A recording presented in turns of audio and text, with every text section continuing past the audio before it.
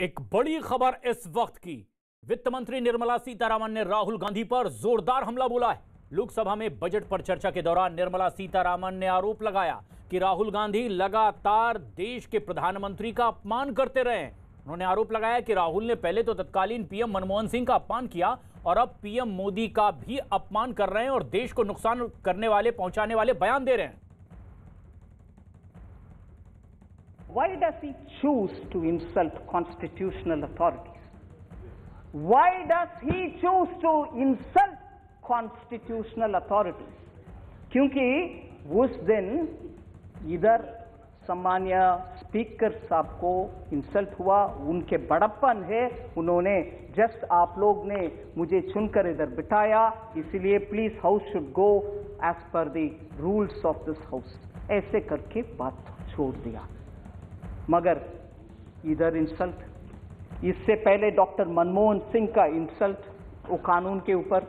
उससे पहले डॉक्टर मनमोहन सिंह विदेश में जब प्रधानमंत्री के नाते गए थे, उस समय उनके द्वारा पास किया गया अध्यादेश ऑर्डिनेंस को फाड़ करके फेंका कूड़े में। Why does he choose to insult and and राष्ट्रपति के अभिभाषण के बाद चर्चा जो हाउस में होता है, वो खत्म होने के बाद भी उसी विषय के ऊपर चर्चा करना और उसी विषय को कुछ बहाने बात बोलते रहना continuously insulting constitutionally elected authorities राष्ट्रपति हो, प्रधानमंत्री हो, सबके प्रधानमंत्री हो, आपके प्रधानमंत्री हो कंटिन्यूसली कंटिन्यूसली इंसल्टिंग वित्त मंत्री निर्मला सीतारामन ने राहुल गांधी के हम दो हमारे दो वाले सदन में दिए गए बयान पर भी जमकर पलटवार किया और राहुल के ही बयान के ज़रिए रॉबर्ट वाड्रा पर निशाना साधा। मैं एक्सपेक्ट किया वो कम से कम वो बात बोलेंगे फाउंडेशन ले करने के समय ना नहीं वो भी नहीं हुआ। सब फिफ्थ पॉइंट हो गया। सिक्स पॉइंट में आ रही हूँ। मैंने ये भी एक्सपेक्ट किया कि राष्ट्रपति भाषण के समय माननीय प्रधानमंत्री जी का जवाब था। उसमें उन्होंने बहुत सारे छोटा किसान के ऊपर बात बोली। मैंने सोचा, उन विषयों में, क्योंकि छोटा किसान से, हम दो, हमारे दो के लिए किसान से ज़मीन हड़पती गए मैंने सोचा वो खड़े होकर के ये बात बोलेंगे। प्रधानमंत्री जी, आपने तो स्मॉल फार्मर्स के ऊपर इतना अच्छा बोल दिया। मैंने मेरे अपना दो से बोल दिया, प्लीज़ ज़मीन वापस कर दो फार्मर्स को।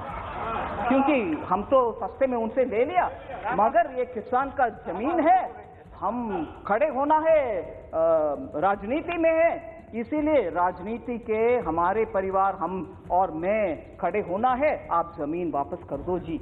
और इधर हाथ करके बोल सकते थे, हम दो, हमारे दो में दामाद को मैंने आदेश करके आई हूँ कि ज़मीन वापस करो।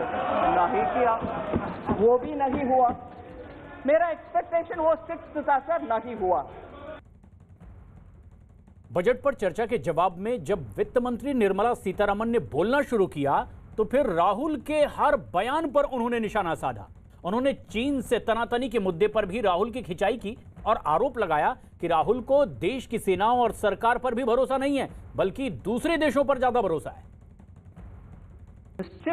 आई एम यूजिंग करने वाले देश के साथ पार्टी की ओर से, सरकार एमओयू नहीं, सरकार के सरकार एमओयू नहीं, पार्टी टू पार्टी एमओयू करके जब देश का कुछ बॉर्डर में क्राइसिस होता है तब हमसे ना बात करते हुए सर, सरकार से हम छोड़ो सरकार से ना बात करते हुए उनके दूतावास से बात करके क्या हो रही है बॉर्डर में? करने वाले करने वाले। और कभी भी भारत देश का भरोसा ना करते हुए बाकी सबको भरोसा करने वाले फेक नरेटिव क्रिएट करने का आरोप भी राहुल गांधी पर वित्त मंत्री ने लगाया। तो उधर बीजेपी के कुछ सदस्यों ने राहुल गांधी की लोकसभा सदस्यता रद्द करने तक की मांग की है। बीजेपी सांसद राकेश सिंह के साथ साथ संजय जायसवाल और पीपी चौधरी ने इस सिलसिले में विशेषाधिकार हनन का बकायदा प्रस्ताव भी दिया है। उन्होंने राहुल पर सदन की गरिमा को ठेस पहुँचाने का भी आरोप लगाया। उन्होंने कहा कि राहुल देश विरोधी बातें करते हैं और बीजेपी सांसद निशिकांत दुबे ने लोकसभा स्पीकर से राहुल गांधी की सदस्यता रद्द तक करने की मांग की। कांग्रेस का जो इतिहास रहा है, उन्होंने दबाने का काम किया और इसी कारण से उनको इस प्रजातंत्र में, लोकतंत्र में और पार्लियामेंट में कोई भी आस्था नहीं है। और राहुल गांधी जी ने जो कुछ भी किया, स्पीकर के डिग्निटी के खिलाफ है। और स्पीकर जो है, सबों के हैं, सभी दल पार्टी के हैं, सभी उन्होंने सर्वसम्मति से किया है।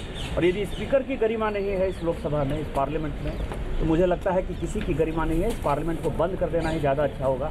इसलिए हम लोग प्रिविलेज मूव कर रहे हैं और हम कोशिश करेंगे कि उनकी सदस्यता समाप्त हो जाए। तो सदन में वित्त